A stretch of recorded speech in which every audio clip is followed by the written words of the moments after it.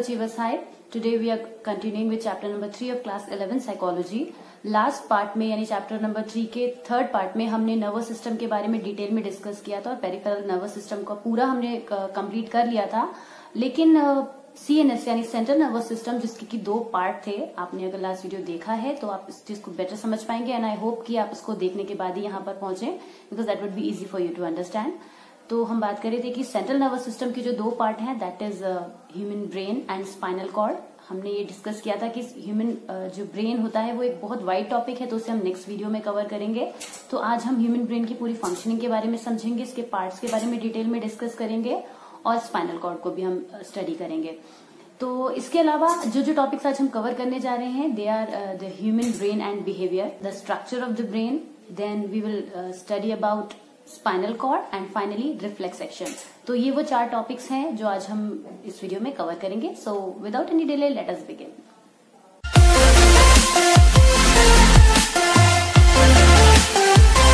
तो हम सबसे पहले बात करते हैं brain and the behaviour human brain के बारे में हम जानते हैं कि ये मिलियंस ऑफ़ इयर्स में इसका इवोल्यूशन हुआ है और बहुत ज़्यादा ह्यूमन ब्रेन चेंज हुआ है. इस पिक्चर में आप देख सकते हैं कि किस तरह से ह्यूमन ब्रेन जो है वो ओवर द इयर्स चेंज हुआ है। इसमें बहुत ज़्यादा इम्प्रूवमेंट हुआ है। आप अगर इंटेलिजेंस लेवल पर देखें, किसी भी एस्पेक्ट पर चेक करें ह्यूमन ब्रेन को तो आप देखेंगे कि जो पहले ह्यूमन का ब्रेन होता था, जिस तरह से फंक्शनिंग करता था आज के समय में वो बहुत ज़्यादा चेंज हो गया और वो और भी ज़्यादा बढ़ रहा है, और भी ज़्यादा इम्प्रूव हो रहा है। इसको एक छोटे से एग्ज़ाम्पल की हेल्प से समझ सकते हैं कि जब हम अपने आने वाली जनरेशन की किसी भी एक्टिविटी को नोटिस करते हैं तो हम ये देखते हैं कि वो उस पर्टिकुलर चीज़ में हमसे ज़्यादा एक्टिव होते हैं, जहाँ जिस एज में हम वहाँ पर थे। ऐसा आप बहुत सारा नोटिस करते होंगे। जनरली भी हम कहते हैं कि आजकल के बच्चे तो बहुत ज़्यादा स्मार्ट हैं। हमारे टाइम में तो ये चीज़ ही नहीं थी। हम ये चीज़ करना नहीं जानते थे। है ना? ऐसा होता है। या हम अपने से बड़ी एज वाले लोगों को कई बार ये ऑब्ज़र्व करते हैं कि वो इस पर्टिकुलर चीज़ को बेहतर नहीं समझ पाते हैं। हम उनको उस चीज़ को ज़्यादा अच्छे से समझा पाते हैं। तो ये क्या होता है? ये हमारे ब्रेन की फंक्शनिंग होती है, जो टाइम टू टाइम इंक्रीज होती है। हमें अपने बाद आने वाली जनरेशन स्मार्टर फील होती है। या हम ये भी कह सकते हैं कि हम खुद को अपने से पहले वाली जनरेशन से बेटर समझने लगते हैं। एट सम लेवल्स की बात करें अगर हम कुछ जगह पे बात करें। We are not talking about the experience तो इस तरह से हम कह सकते हैं कि जो ह्यूमन ब्रेन है वो over the years over the decades जो है वो, उसका इवोल्यूशन हुआ है बेटर हुआ है। और एक ह्यूमन ब्रेन में ओवर 100 बिलियंस न्यूरॉन्स होते हैं। न्यूरॉन्स के बारे में हमने पहले ही इस चैप्टर में बिगिन किए। जब इस चैप्टर को स्टार्ट किया था तब हमने उसमें पढ़ा था। तो ये हमने चीज़ डिस्कस की थी। लेकिन फिर भी जो ह्यूमन ब्रेन की मोस्ट अमेजिंग प्रॉपर्टी है वो केवल उसका स्ट्रक्चर नहीं है। स्ट्रक्चर तो over the years over the time change हुआ ही है। उसमें तो इम्प्रूवमेंट हुआ ही है।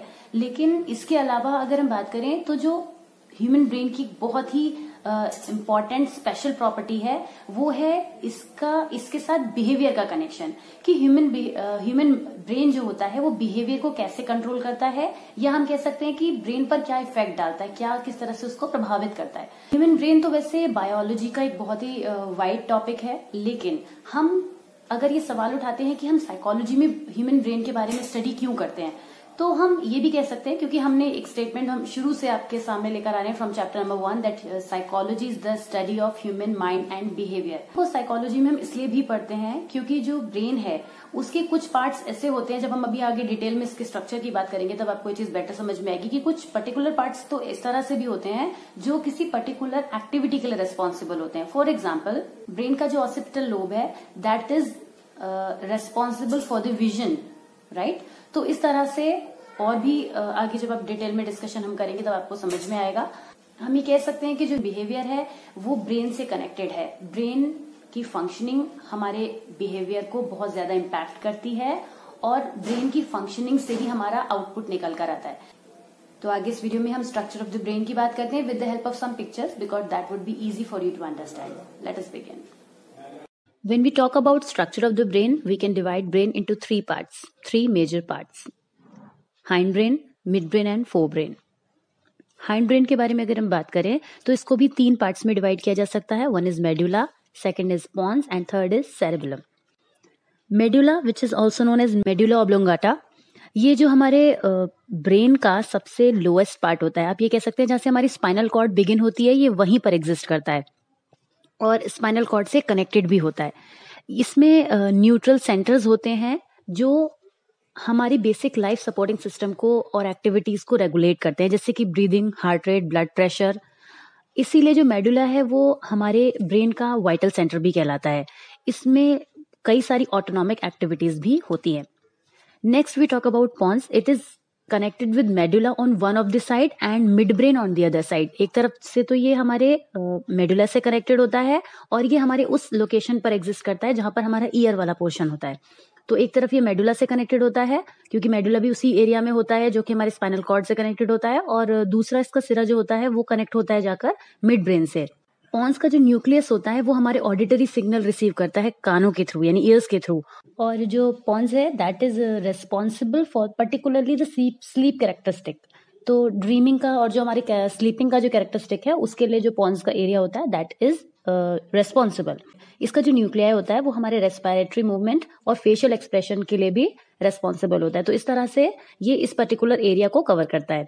नेक्स्ट हम बात करते हैं सेरेबलम की। ये जो है सबसे ज़्यादा हाईली डेवलप्ड पार्ट है हमारे हाइंड ब्रेन का, जो कि रिंकल सरफेस की फॉर्म में इजिली रिकॉग्नाइज किया जा सकता है। जब आप पिक्चर में देखते हैं तो सेरेबुलम जो है ऐसा पार्ट होता है जो कि रफ पार्ट हमें नज़र आता है। ये हमारी बॉडी का पॉस्चर और बैलेंस जो होता है उसको मेंटेन करता है कंट्रोल करने के लिए वर्क करता है। दैट इज़ सेरेबलम का जो वर्क होता है। इसका जो मेन फ़ंक्शन है वो है कोऑर्डिनेशन ऑफ़ मस्कुलर मूवमेंट्स तो हमारी जो मसल्स का जो मूवमेंट्स होता है उसको कोऑर्डिनेट करने का भी इसका वर्क रहता है। और ये हमारे मूवमेंट की मेमोरी को भी स्टोर करता है। जो हमारे मूवमेंट पैटर्न्स होते हैं, जैसे कि वॉक करना डांस राइडिंग अ बाइसिकल और एनी अदर वर्क ये सारे जो हमारे पैटर्न्स होते हैं, जो हमेशा एक तरीके से ये फॉलो होते हैं, इनको रिकॉग्नाइज करना, इनको अंडरस्टैंड करना और उनको स्टोर करना हमारी मेमोरी में, ये इसका वर्क होता है, जिससे कि हमें, जब हम ऐसा वर्क करें, हमें कॉन्सेंट्रेट ना करना पड़े। आपको आपको मालूम है कि जब आप अपने किसी चेयर से उठकर खड़े होते हैं तो आपको मालूम है आपको कैसे वॉक करना है। वो आपको कुछ नया नहीं करना है। That is the same way you are doing since ages तो इसी तरीके से जो सेरेबेलम का जो वर्क है, वो हमारे बॉडी मूवमेंट को कंट्रोल करना रेगुलेट करना भी कह सकते हैं। तो ये हमने हाइंड ब्रेन के बारे में बात की, इसके तीन पार्ट डिस्कस किए। आगे हम बढ़ते हैं मिड ब्रेन की तरफ़। मिड ब्रेन जो होता है, वो रिलेटिवली साइज़ में स्मॉल होता है और ये हाइंड ब्रेन और फोर ब्रेन को कनेक्ट करता है। इसलिए भी इसका नाम मिड ब्रेन होता है क्योंकि ये दोनों को कनेक्ट करता है। कुछ special reflexes visual and auditory sensations जो होते हैं, वो उनसे रिलेटेड जो न्यूट्रल सेंटर्स होते हैं, वो इस मिड ब्रेन में पाए जाते हैं। मिड ब्रेन का जो सबसे इंपॉर्टेंट पार्ट होता है that is called reticular activating system RAS ये हमारे अराउजल के लिए रेस्पॉन्सिबल होता है। ये हमारे अलर्ट्स के लिए रेस्पॉन्सिबल होता है। कोई भी चीज़ देखकर हम तुरंत अलर्ट हो जाते हैं, हम एक्टिवेट हो जाते हैं, हमारे सेंसरी इनपुट जो होते हैं, वो रेगुलेट करना स्टार्ट कर देते हैं। तो ये किसके थ्रू होता है? ये मिड ब्रेन का जो एक इंपॉर्टेंट पार्ट होता है that is called reticular activating system ये उसके लिए रेस्पॉन्सिबल होता है, उसको रेगुलेट करता है। हम अपने एनवायरमेंट से बहुत सारी इन्फॉर्मेशन लेते हैं, लेकिन सारी इन्फॉर्मेशन हमारे हमें अराउज नहीं करती, हमारे लिए उस पार्ट पर वर्क नहीं करती। तो कौन से इन्फॉर्मेशन जो है वो सिलेक्ट होगी, जो कि हमारे लिए वर्क करेगी, ये काम भी मिड ब्रेन का होता है। तो मिड ब्रेन जो है, हम कह सकते हैं कि मिड ब्रेन जो है वो हाइंड ब्रेन और फोर ब्रेन के बीच का एक पार्ट होता है। नेक्स्ट हम बात करते हैं फोर ब्रेन की। फोर ब्रेन जो होता है, सबसे इंपॉर्टेंट हमारे ब्रेन का स्ट्रक्चर जो होता है, सबसे इंपॉर्टेंट पार्ट कंसीडर किया जाता है क्योंकि ये सबसे ज़्यादा कॉग्नेटिव इमोशनल मोटर एक्टिविटीज़ को परफॉर्म करता है। और हमें ये भी मालूम है कि जो ब्रेन है, वो हम इन्हीं एक्टिविटीज़ के लिए, इन्हीं चीज़ों के लिए हम साइकोलॉजी में स्टडी करने जा रहे हैं। तो आपको ये फोर ब्रेन वाला पार्ट बहुत अच्छे से समझना होगा। सी हम इसके फोर ब्रेन के मेजर पार्ट्स के बारे में बात करेंगे जो कि हैं hypothalamus thalamus limbic system and cerebrum तो इनके बारे में हम एक एक करके डिस्कशन करते हैं। व्हाट इज़ हाइपोथैलेमस ये ब्रेन का सबसे स्मॉलेस्ट जो कह सकते हैं स्मॉलेस्ट स्ट्रक्चर है।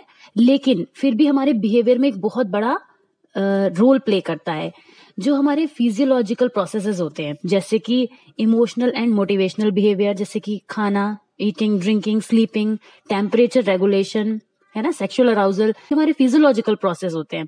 इन सब के लिए ये रिस्पॉन्सिबल होता है, ये उन्हें रेगुलेट करता है और इसके अलावा ये हमारे इंटरनल एनवायरमेंट को भी बॉडी के जो इंटरनल एनवायरमेंट होता है, उसको भी कंट्रोल करता है, जैसे कि heart rate blood pressure temperature और हार्मोन्स का सेक्रेशन जो है, वो भी ये बहुत सारी एंडोक्राइन ग्लैंड से रेगुलेट करता है। तो इस तरह से हाइपोथैलेमस का जो है, बहुत इंपॉर्टेंट पार्ट हमारे फोर ब्रेन में रहता है। नेक्स्ट हम बात करते हैं थैलेमस की।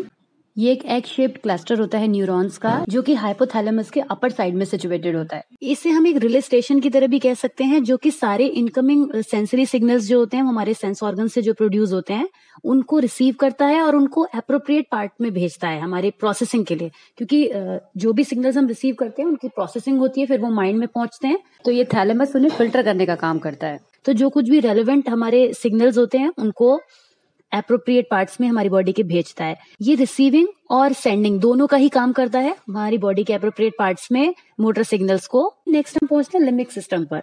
Limbic system is compose of a group of structure that form part of the old mammalian brain limbic system में हिप्पोकैम्पस और एमिगडला दो जो होते हैं प्लेसेस पाए जाते हैं, जिसमें से हिप्पोकैम्पस हमारे लॉन्ग टर्म मेमोरी के लिए रेस्पॉन्सिबल होता है और एमिगडला जो है, वो इमोशनल बिहेवियर के लिए इंपॉर्टेंट रोल प्ले करता है। तो इस तरह से आप एक एक करके समझ रहे हैं कि किस तरह से हमारे ब्रेन का कौन सा पार्ट हमारे कौन से फंक्शनिंग के लिए रेस्पॉन्सिबल होता है। लेकिन फोर ब्रेन के जो सभी पार्ट्स हैं, वो ज़्यादातर कॉग्निटिव एक्टिविटीज़ के लिए मोटर एक्टिविटीज़ के लिए इमोशनल एक्टिविटीज़ के लिए रिस्पॉन्सिबल होते हैं। नेक्स्ट हम बात करते हैं सेरेब्रम की। इसे हम सेरेबल कॉर्टेक्स भी कहते हैं और ये हमारे सारे higher level higher order level के जो भी कॉग्नेटिव फ़ंक्शंस हैं, जैसे कि attention perception learning memory language behaviour reasoning problem solving ये सबको रेगुलेट करता है। सेरेब्रम जो है वो सबसे ज़्यादा इंपॉर्टेंट है फोर ब्रेन में. इनफैक्ट पूरे ब्रेन में जो है सेरेब्रम ही सबसे ज़्यादा इंपॉर्टेंट रोल प्ले करता है. क्योंकि यहाँ पर अगर साइकोलॉजी के पॉइंट ऑफ़ व्यू से देखें तो यहाँ पर वो सारी एक्टिविटीज़ उन सारी चीज़ों की स्टडी हम करने को हमें करने को मिल रही है, जिनकी हमें साइकोलॉजी में ज़रूरत होती है. तो हमें यहाँ पर इसको अच्छे से अंडरस्टैंड करना ज़रूरी है. ह्यूमन ब्रेन का जो टोटल होता है, उसका टू थर्ड जो होता है वो सेरेब्रम होता है. इसकी जो थिकनेस होती है वो 1.5 mm से 4 mm तक रहती है which covers the entire surface of the brain जिसमें कि neurons neutral nets bundles of axons ये सारे कंटेन होते हैं। और ये सारे मिलकर हमारे लिए images symbols association memories actions है ना? ऑर्गेनाइज्ड फॉर्म्स एक्शंस जो होते हैं, इनको परफॉर्म करना पॉसिबल करते हैं। तो ये सारे सेरेब्रल कॉर्टेक्स में एग्जिस्ट करते हैं। सेरेब्रम जो है, वो दो सिमेट्रिकल हाफ्स में डिवाइड रहता है, जिसको हम सेरेब्रल हेमिस्फेयर्स कहते हैं। ये वैसे तो ये जो हेमिस्फेयर्स होते हैं, ये आइडेंटिकल ही लगते हैं। लेकिन फंक्शनली अगर देखा जाए तो एक हेमिस्फेयर दूसरे हेमिस्फेयर को डोमिनेट करता है। Example the left hemisphere usually controls language behaviour और right hemisphere is usually specialise to deal with images pattern recognition cerebral cortex यानी सेरेब्रम को जो है भी हम और चार पार्ट्स में डिवाइड कर सकते हैं, जिसमें पहला है फ्रंटल लोब दूसरा है parietal lobe temporal lobe and occipital lobe. एक एक करके अंडरस्टैंड करने की कोशिश करते हैं कि जो सेरेब्रल कॉटेक्स है इसके पार्ट्स जो है वो किस तरह से वर्क करते हैं। फ्रंटल लोब की अगर हम बात करें तो ये सबसे ज़्यादा कंसर्न है विद द कॉग्नेटिव फ़ंक्शन यानी कि attention thinking memory learning reasoning जो भी हमारे कॉग्नेटिव पार्ट्स होते हैं कॉग्नेटिव एक्टिविटीज़ होती हैं उन सब के लिए ये रेस्पॉन्सिबल होता है। लेकिन इसके अलावा ये ऑटोनॉमिक और इमोशनल रेस्पॉन्सेज के लिए भी आ, कुछ एफर्ट्स देता है।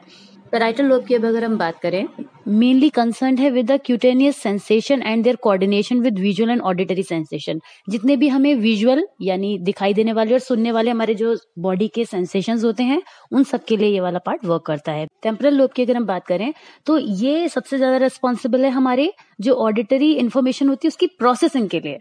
जो भी हम कुछ भी ऑडियो सुनते हैं, वो हमारा पेराइटल लॉब से जाता है, पर टेम्परल लॉब में इसकी प्रोसेसिंग के लिए रेस्पॉन्सिबल रहता है।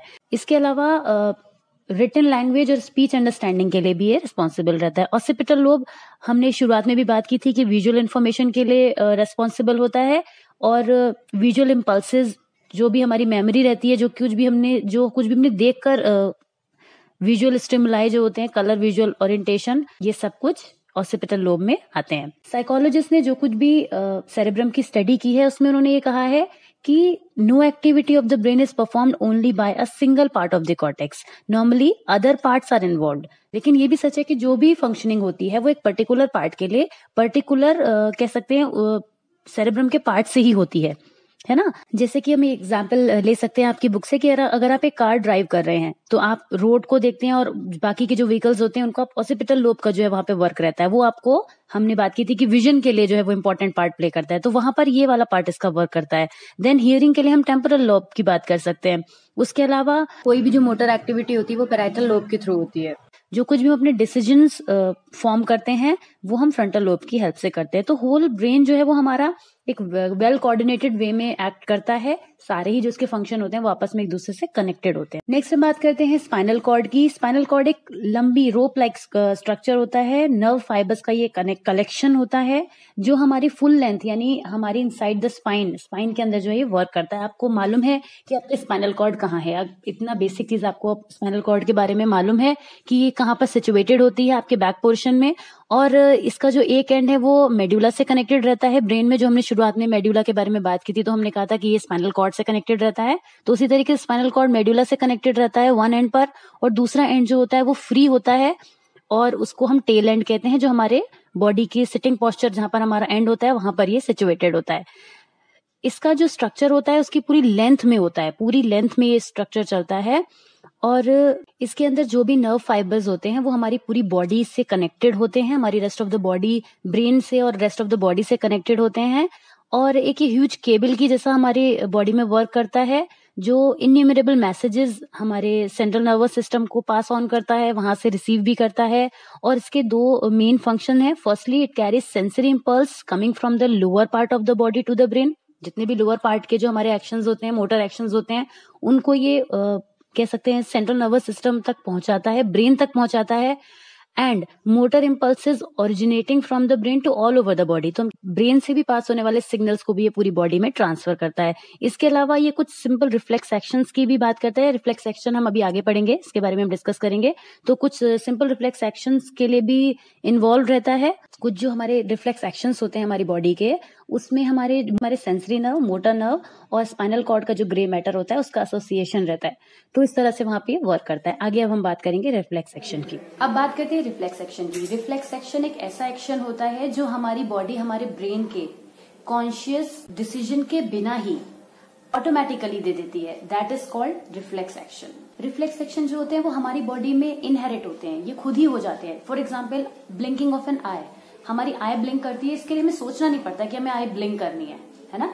तो ये क्या हो गया? ये एक रिफ्लेक्स सेक्शन का एग्ज़ाम्पल हो गया। रिफ्लेक्स सेक्शन के लिए हमें अपने ब्रेन को या माइंड को प्रिपेयर नहीं करना पड़ता। जैसे आपने किसी हॉट पैन को छुआ तो उसको छूते ही अगर आपका हाथ उस पर टच हो गया है तो आप एकदम से अपनी बॉडी को पीछे पुल करते हैं राइट इसमें आपको सोचना नहीं पड़ता कि अब मुझे कोई गर्म चीज़ टच हो गई है तो अब मैं क्या करूँ? You don't take time right तो रिफ्लेक्स एक्शन जो है विद इन कह सकते हैं कि बहुत शॉर्ट स्पैन ऑफ़ टाइम में within fraction of seconds में हो जाता है।